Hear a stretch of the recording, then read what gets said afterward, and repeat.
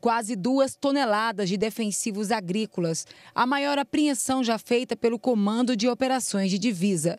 A carga contrabandeada saiu do Paraguai e seria vendida em Mineiros, Jataí e Rio Verde, região sudoeste do estado. Um homem foi preso, Vander Ferreira de Carvalho, que receberia 5 mil reais para levar o carregamento até o destino final. O Wander faz parte de um grupo criminoso.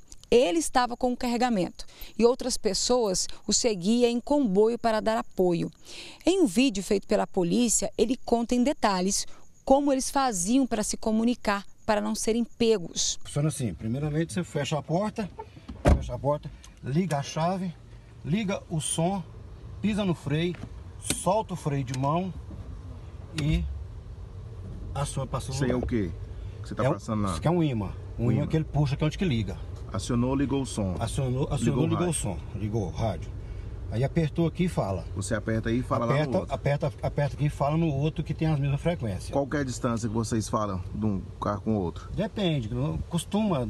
Tem, tem lugar que fala até 20 km, tem lugar que fala 2 ou 3, tem lugar que nem não fala. Depende da, da, da, da altura, sabe? Da posição. Aí quando vocês avistam a polícia, avisa um ou outro. Quando avista a polícia, avista, avista um ao outro. De trás, da frente.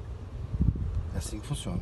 A carga avaliada em 2 milhões de reais foi levada para a Polícia Federal de Jataí.